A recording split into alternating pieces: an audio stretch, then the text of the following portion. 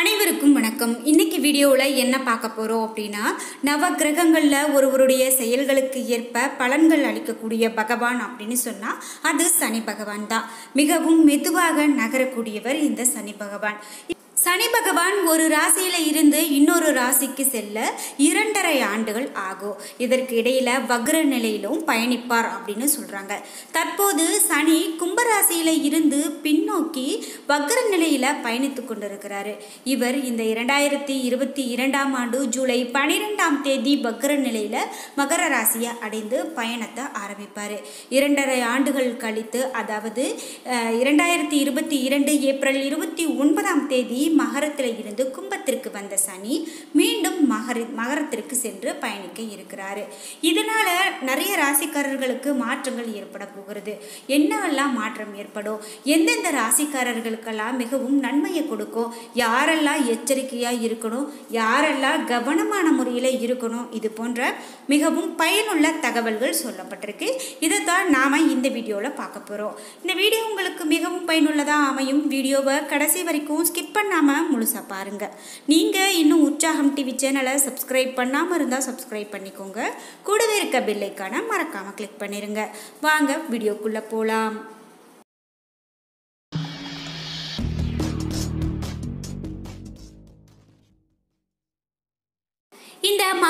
சில சில மாதங்கள் இருந்துட்டு அதற்கு பிறகு மீண்டும் கும்பராசிக்கு சனி பகவான் போவார் அப்படின்னு சொல்லப்பட்டிருக்கு. இப்படி மகர ராசியில் வக்ர நிலையில் பயணிக்கக்கூடிய சனி பகவானால் சில ராசிக்காரர்களுக்கு நல்ல பலன்களையும் சில ராசிக்காரர்களுக்கு மோசமான பலன்களையும் பெற முடியும்னு சொல்லப்பட்டிருக்கு. இப்போது வக்ர நிலையில் மகரம் அடையக்கூடிய சனி பகவானால் அதிர்ஷ்டக்கார ராசிக்காரர்கள் யார் அப்படிங்கிறத தெரிஞ்சுக்கலாம்.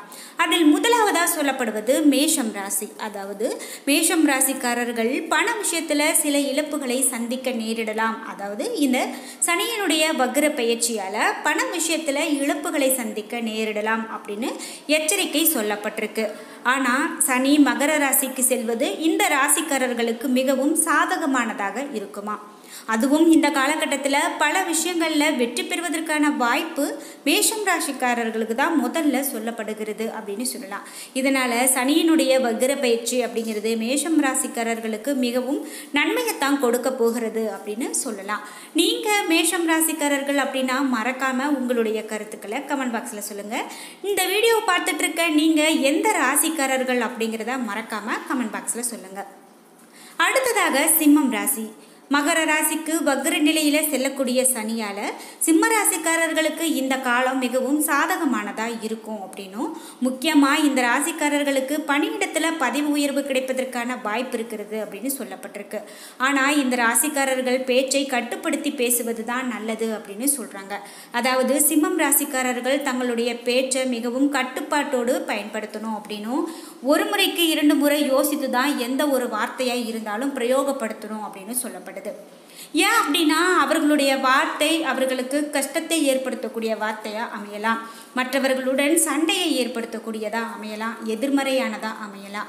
இது அவர்களுக்கு கஷ்டமாக அமையும் அப்படிங்கிறதால சிம்மம் ராசிக்காரர்கள் இந்த சனி வக்ர பயிற்சி காலத்தில் வார்த்தைகளை மிகவும் கவனமாக செலுத்தணும் அப்படின்னு சொல்லப்படுது.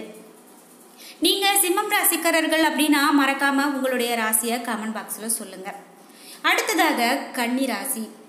வக்கர நிலையில சனி மகர ராசியை அடைவதால கன்னி ராசிக்காரர்கள் எதிலும் மகத்தான வெற்றியை பெறுவாங்க அப்படின்னு சொல்லப்படுது.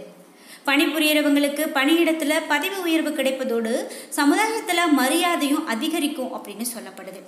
அதாவது கன்னி ராசிக்காரர்களை பார்க்கும்போது இந்த அவர்களுடைய வெற்றி அப்படிங்கிறது இந்த சனி வக்ர பயிற்சியில் உறுதிப்படுத்தப்படுது அப்படின்னு கூட சொல்லலாம். சனியினுடைய பெயர்ச்சி அப்படின்னு சொன்னாவே பொதுவாக அது நமக்கு கஷ்ட நிலையை தான் கொடுக்கும் அப்படின்னு நிறைய பேர் நினச்சிட்டு இருக்கோம் ஆனால் சனி பகவான் நன்மையும் செய்வார் அப்படிங்கிறதுக்கு இவையெல்லாம் சொல்லப்படுது. நீங்கள் கன்னிராசிக்காரர்கள் அப்படின்னா மறக்காமல் உங்களுடைய ராசியை கமெண்ட் பாக்ஸில் சொல்லுங்கள் அடுத்ததாக துலாம் ராசி. துலாம் ராசியினுடைய ஐந்தாவது வீட்டில் சனி பகவான் இருப்பதால நற்பலன்கள் துலாம் ராசிக்காரர்களுக்கு கிடைக்கலாம். குழந்தைகள் கல்வியில் சிறப்பாக செயல்படுவாங்க. பணியிடத்தில் மிகவும் சிறப்பாக செயல்படுவாங்க. இந்த ராசிகளின் குழந்தைகள் தங்களுடைய இலக்குகளை அடைவதில் மிகவும் வெற்றி பெறுவாங்க அப்படின்னு சொல்லப்படுது. தங்களுடைய வெற்றி தங்களால் அனுபவிக்க முடியல. இவ்வளவு நாள் தள்ளி போயிட்டே இருக்கு அப்படின்னு நினைச்சிட்டு இருந்தவங்களுக்கு கூட இந்த சனியினுடைய வக்ர பயிற்சியான ஜூலை பன்னிரெண்டுக்கு பிறகு அவர்களுடைய வெற்றி அவர்களுக்கு நிச்சயமாக கிடைத்தே தீரும் என சொல்லலாம். அந்த வகையில் துலாம் ராசிக்காரர்களுக்கு வெற்றி பயணமாக அமைய போகிறது. அடுத்ததாக தனுசு. தனுசு ராசிக்காரர்களுக்கு சனி பகவான் நற்பலன்களை அள்ளி வழங்க போறாரு. அதாவது நீண்ட காலமாக நிலுவையில் இருந்த வேலைகள் இந்த காலத்தில் வெற்றிகரமாக முடிவடையும் அப்படின்னு சொல்லப்படுது. ஒரு வேலையை எடுத்தோம் அப்படின்னா அந்த வேலை ஏன் இப்படி இழுக்குது அப்படின்னு தெரியாமல் நீண்ட நாட்களாக ஒரு வேலையை முடிக்க முடியாத அளவுக்கு இருந்துக்கிட்டே இருக்கும். நம்ம எவ்வளவு போராடினாலும் அதற்குன்னு ஒரு குறிப்பிட்ட காலம் வந்தால் தான் எந்த ஒரு செயலையுமே செயல்படுத்த முடியும். நம்மளுடைய வேலையில் சில தடைகள் ஏற்பட்டாலும் அதை வெற்றிகரமாக முடிப்பதற்கான காலகட்டமாக தனுசு ராசிக்காரர்களுக்கு இந்த சனியினுடைய வக்ர பயிற்சி அமைகிறது அப்படின்னு சொல்லலாம். இந்த காலகட்டத்தில் இந்த ராசிக்காரர்களுடைய வாழ்க்கையில் பல நல்ல விஷயங்கள் நடக்க காத்திருக்கிறது அப்படின்னு சொல்கிறதால இந்த சனியினுடைய வக்ர பயிற்சி அப்படிங்கிறது தனுசு ராசிக்காரர்களுக்கு மிகவும் நன்மையை கொடுக்கக்கூடியதாக அமைகிறது என்று தான் சொல்லணும். இந்த சனியினுடைய வக்ர பயிற்சியால் ரிஷபம் ராசிக்காரர்களுக்கு எப்படிப்பட்ட பலன்கள் சொல்லப்பட்டிருக்கிறது அப்படின்னு பார்க்கலாம். வக்ர பயிற்சி அப்படிங்கிறது ரிஷப ராசியினுடைய ஒன்பதாவது வீட்டில் நடக்க இருக்கு இதனால இந்த ராசிக்காரர்கள் தங்களுடைய வாழ்க்கையில பல சவால்களை சந்திக்கலாம் அப்படின்னு சொல்லப்படுது. இது மட்டும் இல்லாமல் நிதி நிலைமை சரியான சராசரியானதாகத்தான் இருக்குமா. புதிய முயற்சிகளை தொடங்க திட்டமிட்டா சற்று எச்சரிக்கையோடு தான் தொடங்கணும் அப்படின்னு சொல்லப்படுது. ஆரோக்கியம் நன்றாக இருக்கும். பணிபுரியறவங்களுக்கு சில உற்சாகமான வாய்ப்புகள் பெற முடியும் அப்படின்னும் ரிஷபம் ராசிக்காரர்களுக்கு சொல்லப்படுது. தொழிலில் ஈடுபட்டவங்க அப்படின்னா உங்களுடைய வேலைகளில் சில சிரமங்கள் ஏற்படலாம். திருமணமானவங்க அப்படின்னா தங்களுடைய வாழ்க்கை துணையுடன் உறவுகளை மேம்படுத்தலாம் அப்படின்னு சொல்லப்படுது.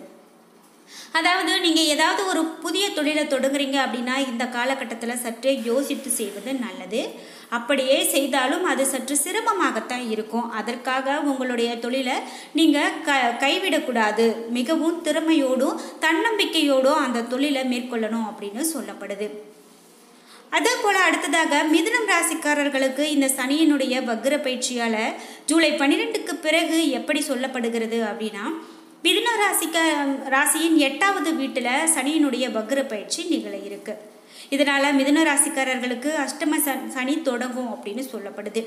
இதன் காரணமாக பல உடல்நல பிரச்சனைகளை சந்திக்க நேரிடலாம் அப்படின்னு சொல்லப்படுது. இதனால் நீங்கள் ஆரோக்கியத்தில் அதிகமான கவனம் செலுத்தணும். அதற்காக நீங்கள் தன்னம்பிக்கையை இழக்காமல் ஆரோக்கியத்தில் ரொம்பவே கவனமாக இருக்கணும் அப்படின்னு சொல்லப்படுது. மேலும் சில எதிர்பாராத செலவுகள் உங்களுக்கு தொந்தரவு கொடுக்கலாம். செலவுகள் எதிர்பாராமல் இருக்கு அப்படின்னா அந்த செலவுகளை நீங்கள் கட்டுப்படுத்தணும். மேலும் அதுபோல் செலவுகள் நடக்காத மாதிரி பார்த்துக்கணும் அப்படின்னு சொல்லி சொல்லப்படுது. சில பழைய முதலீடுகளும் உங்களுக்கு சில பிரச்சனைகளை ஏற்படுத்தலாம். நீங்கள் ஏதேனும் புதிய திட்டத்தை தொடங்க திட்டமிட்டிருந்தீங்க அப்படின்னா சிறிய காலம் நீங்கள் காத்து தான் இருக்கணும். திருமணமானவங்களுக்கு துணையுடன் சில பிரச்சனைகள் ஏற்பட வாய்ப்பு இருக்குது திருமண வாழ்க்கை உங்களுக்கு சரியானதாக இருக்கும் அப்படின்னு சொல்லப்படுது. அதனால் மிதுனம் ராசிக்காரர்கள் ஆரோக்கியத்தில் அதிகமாக கவனம் செலுத்தணும்.